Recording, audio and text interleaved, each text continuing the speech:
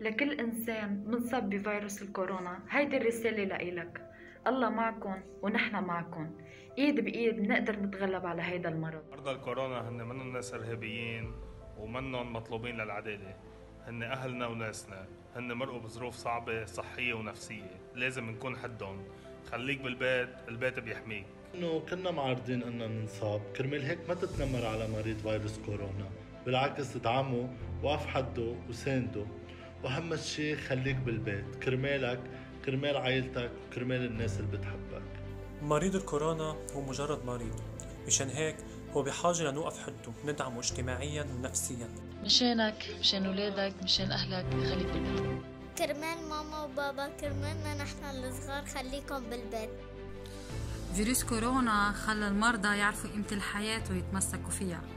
أنت بدورك كن إنسان تحلى بإنسانيتك وما تتنمر عليهم. وما نتنمر عليهم تنساهم بتمسكهم بالحياة ونكون حدهم تيتغلبوا على المرض جسديا ونفسيا. يمكن أنا أو أنت أو أهلي الكل معرض للإصابة. مريض الكورونا مش رقم أو فرد على هامش المجتمع.